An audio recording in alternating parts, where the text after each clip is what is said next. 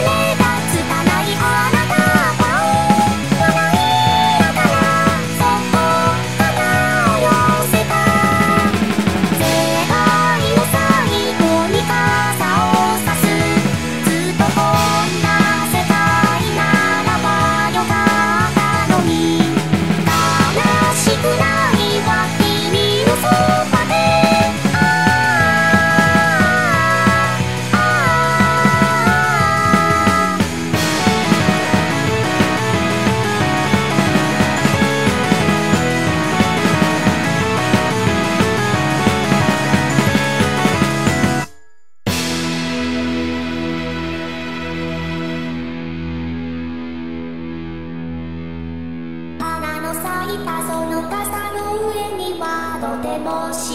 せそうな顔で小さく眠る二人がいた